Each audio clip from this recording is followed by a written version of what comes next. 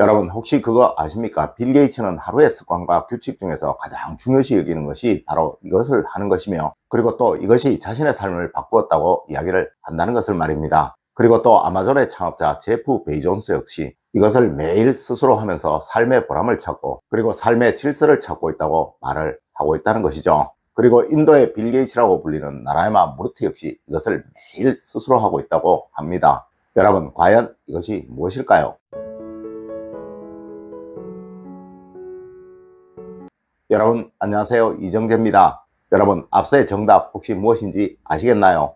여러분들도 이거 매일 하시는 것입니다. 네 주부라면 누구나 매일 하는 이것을 세계적인 기업과 또 세계적인 굴지의 거부들이 자신의 삶에 모멘텀을 주는 요소라고 생각을 하고 있다는 것에 참 놀라움을 금할 수 없는데요. 맞습니다. 이것은 바로 설거지입니다. 여러분도 많이 놀라셨죠? 여러분 애플의 창업자 스티브 잡스는 이런 말을 했다고 합니다 잡동사니가 가득한 곳을 들어가게 되면 뭔가 알 수 없는 에너지의 파장을 느끼게 된다. 이것은 이 잡동사니들이 실내 에너지의 파장들을 방해하고 있기에 그러한 것이며 뭔가 불쾌하고 거부당하는 느낌 또 음산한 느낌이 들며 마치 보이지 않는 거미줄 사이로 걸어 들어가고 있다는 느낌이 든다. 설사 이 잡동사니가 보이지 않는 곳에 숨겨져 있다고 하더라도 나는 그곳에 문을 여는 순간 이상한 느낌을 분명 얻을 수 있으며 이곳에 사는 사람들의 아우라 속에서는 그 어떠한 연기도 그리고 어떠한 기운도 전혀 느낄 수가 없다. 이것은 이 잡동사니들이 인간의 연기를 모두 빼앗아갔기 때문에 그러한 것이며 이로 인해 이 사람들에게서는 그 어떠한 발전의 기운도 생겨날 수가 없다는 것을 알 수 있다라고 말입니다.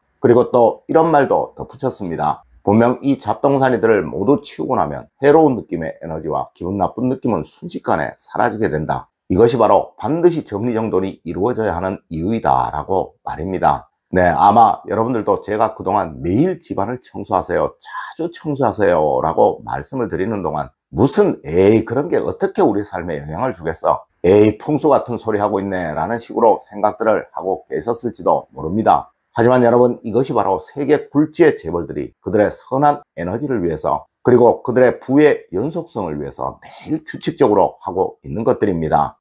첫 번째로 여러분 싱크대 볼 안을 보세요. 분명 부가 보입니다.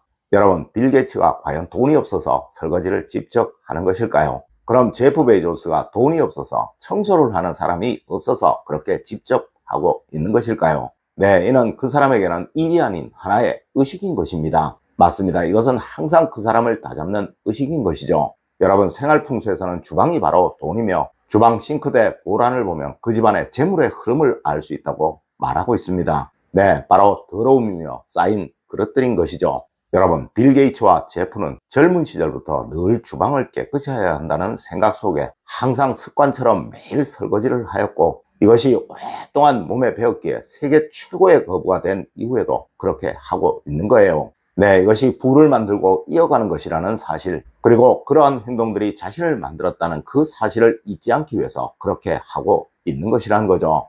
여러분 무조건 싱크대 보라는 청결하게 하세요. 분명 여러분들은 미루고들 있을 것입니다. 네, 좀 더 쌓이면 하지 뭐 라고 말이에요. 여러분 혹시 그거 아십니까? 게으른 사람들의 가장 큰 특징은 바로 절대 자기가 먹은 것을 바로 치우지 않으며 늘 지금 해야 할 일을 조금 있다가 라는 식으로 미루는 거예요. 네, 그래서 항상 그 사람들이 머문 자리에는 뭐가 있어도 있다는 것이죠. 여러분 이것이 바로 그 사람을 가난으로부터 벗어나지 못하도록 만드는 거예요. 네, 오늘부터는 반드시 싱크대 볼안에 무엇이라도 담겨 있지 않도록 바로바로 설거지를 하세요.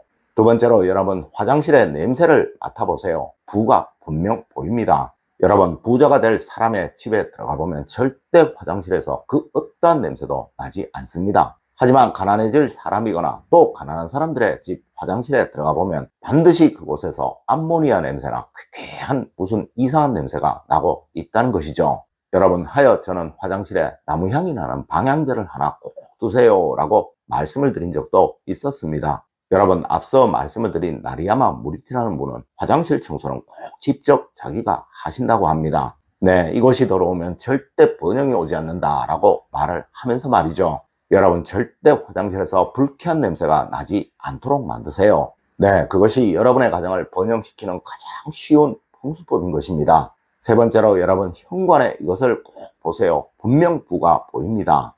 여러분 앞서 말씀을 드린 스티브 잡스의 이야기가 바로 현관을 이야기한 거예요. 네, 현관에 들어가 보면 그 집이 번영할 집인지 아니면 몰락할 집인지를 금방 알 수 있다는 것을 설명한 이야기라는 것이죠. 맞습니다. 이곳 현관은 항상 넓은 느낌, 안정감 있고 편안한 느낌이 나야 하는 거예요. 네, 그러자면 반드시 불필요한 것들, 즉 화초나 그림들, 또 그 외 복잡한 것들은 다 치우셔야겠죠. 여러분, 이곳 현관은 바로 여러분의 가정의 얼굴이며 의복과 같은 곳입니다. 네, 옷을 더럽게 입은 사람, 또 얼굴에서 때국물이 줄줄 흐르는 사람을 우리는 노숙자 같다라고 이야기들을 하죠. 여러분, 그런데 왜 여러분은 여러분의 집을 노숙자 같이 만들어 놓고 계시나요? 물론 이런 사람에게는 그 어떤 기회도 오지 않으며 또 그 어떤 운의 변화 역시 생겨나지 않게 됩니다. 물론 항상 나쁜 운만 들어오게 되겠죠. 네, 항상 현관은 넓은 느낌, 편안하고 포근하고 안정감 있는 느낌이 나도록 만들어주세요. 네, 그리하면 분명 여러분은 뭐든 다 잘 되는 그런 사람이 될 것입니다.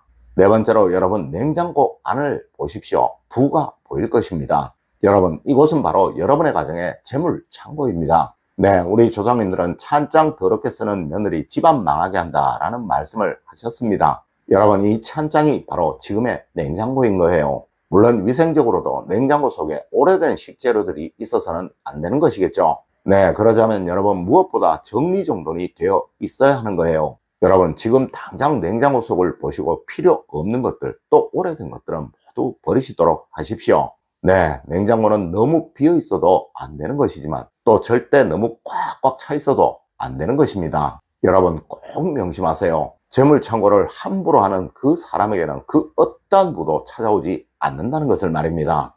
다섯 번째로 여러분 침대 위를 보십시오. 정말 부가 보일 것입니다. 여러분 미국의 거의 모든 백만 장자들이 자신의 습관 중 첫 번째라고 꼽았던 것이 바로 침대 위의 친구 정리입니다. 네, 세상 어느 특급 호텔에 가봐도 이 침대 위의 친구가 단정하게 깔끔하게 정리가 되어 있지 않은 곳은 없어요. 물론 그들은 또 그 습관이 자신을 부유하게 만들었다고도 말을 합니다. 여러분 생활 풍수에서 침대만큼 중요하게 생각을 하는 곳은 정말 많지 않습니다. 네, 하여 우리 조상님들도 원앙금침은 결혼식의 필수 혼수품이었던 것이죠. 여러분 항상 침대 위의 친구는 단정하게 질서 있게 정리를 해두세요. 네, 제가 지금껏 들어가 보았던 그 어떤 부자들의 집에서도 친구가 혼란스러웠던 경우는 단 한 번도 없었습니다. 하지만 또 가난한 사람들의 집에서는 친구에서 항상 이상한 냄새가 나고 또 불쾌한 느낌이 들며 어지러이 혼란스럽게 되어 있었다는 것이죠.